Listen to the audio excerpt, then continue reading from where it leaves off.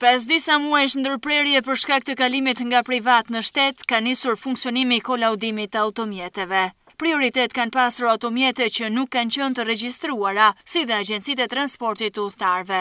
Mjetet që regjistrohen për herë të parë në Shqipëri, që s'kanë kryer kolaudim asnjëherë në jetën e tyre të mjetit. Pjesa tjetër është mjetet që janë në agjenci. Çdo agjenci që i ka në pronësi të vet X mjete, ata janë prioritet i joni kamiona, autobuza, mjetet e transportit të agjensive. Mjetet shtetërore, gjitha mjetet shtetërore është prioritet i joni. Për të tjerët nuk ka specifika të veçanta. Kushti i vetëm është që të aplikojnë paraprakisht, pasi vetëm nëpërmjet aplikimit do të mund të kryejnë kolaudimin. Për çdo qytetar, do të bëjnë aplikimin online që ne kemi te faqja jonë zyrtare, ose te e-Albania, rezervon datën dhe orën që një qytetar e don, që e ka kohën e vet, për me kry kolaudimin e mjetit. Dhe ju do t'jeni korekt në përgjigjen që i ktheni?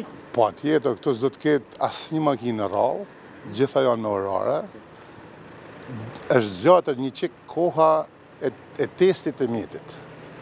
Për arsye se afati i vlefshmërisë është 2 vjet për veturat.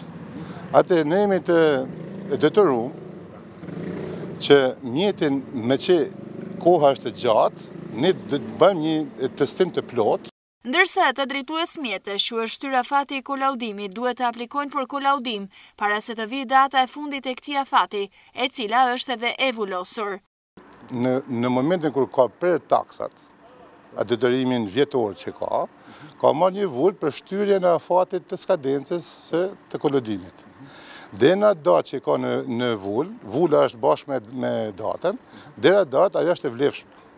Mbrenda kësaj date, ai do marrë masa të bëjë një aplikim online pranë drejtorisë tonë faqes dhe zyrtare DPSHTRR, i sërën me të gjitha, ose e-Albania, prenoton datën dhe kohën mbrenda datës së vulës e ka të lehtë shërru.